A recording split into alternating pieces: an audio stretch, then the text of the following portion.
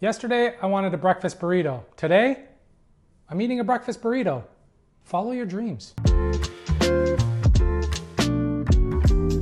Hey everyone, Mark here, and welcome to my kitchen. Today we're making breakfast burritos packed with some really good ingredients. So good, and uh, I would say it's kind of healthy. Are those gummy bears wrapped in a fruit roll-up?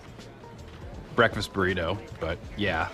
Healthier than a fruit roll-up gummy bear burrito, but now I kind of want to make that. This recipe makes two large burritos, but you can sneak in a third depending on how you stuff them and the size of your tortilla. The ones I'm using are 10 inches. Let's start by removing the casing from two hot sausages. With a knife, just slice a quarter of the way down the sausage to cut open the casing. And then just remove the meat and we're gonna crumble the meat into a pan on medium to high heat. As the sausage starts to cook, you wanna break up the sausage meat as much as you can with a wooden spoon you want to try and get small crumbles. So just keep doing it as the sausage cooks. Once you get a nice small fine crumble, we're just going to remove to a bowl and set aside. Then let's chop up half of a small to medium sized sweet onion. We are going to lightly caramelize the onions.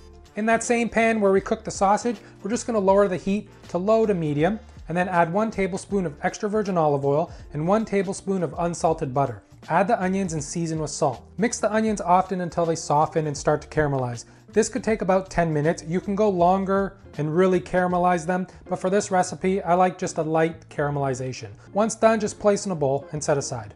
Grab one large avocado and you can see if it's ripe by removing the little stem. If it's green, go for it. You can also feel the avocado to see if it's ready. Slice around the avocado in half to reveal the pit. Place the avocado with the pit in a dish towel and just grip it tight. With a knife in your other hand, hit the pit in one motion. Twist and remove the pit.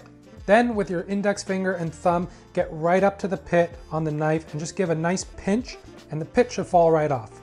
Then remove the flesh into a bowl, season with salt and freshly cracked pepper and a squeeze of one lemon wedge and then just mash with a fork. I don't go all full mushy, I keep a bit of texture still with the avocado. Cover and place in the fridge.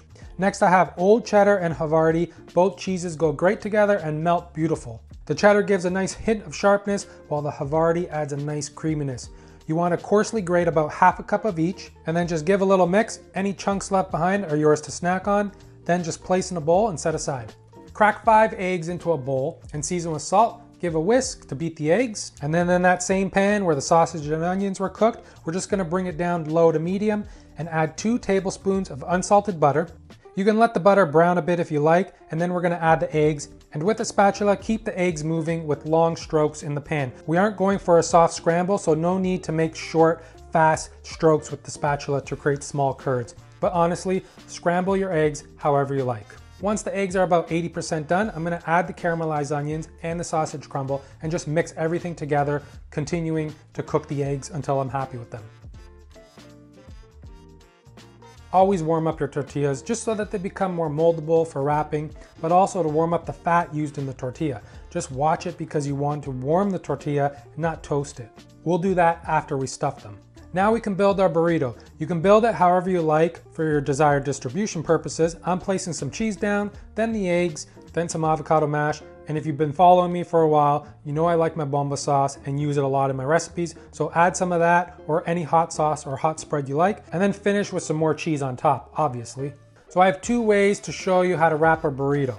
Option one, I have the filling on the bottom half of the tortilla closest to you. Fold the bottom of the tortilla up and over the filling while pulling back towards the bottom third of the tortilla. Make two folds on either side of the larger fold and roll nice and tight to complete the roll.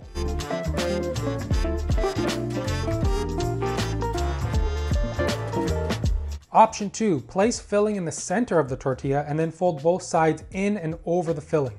Fold the bottom half over the filling, tucking in the filling and keeping it as tight as you can.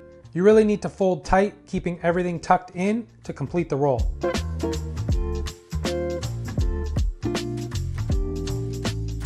We're not done yet though. We wanna give a nice seal of approval. So in a pan on low to medium heat, we're gonna toast the tortilla, warm up the filling, and melt the cheese inside. If you have something to weigh the burrito down, that helps with browning, but it's not necessary. Once toasted, that's it. It's breakfast time.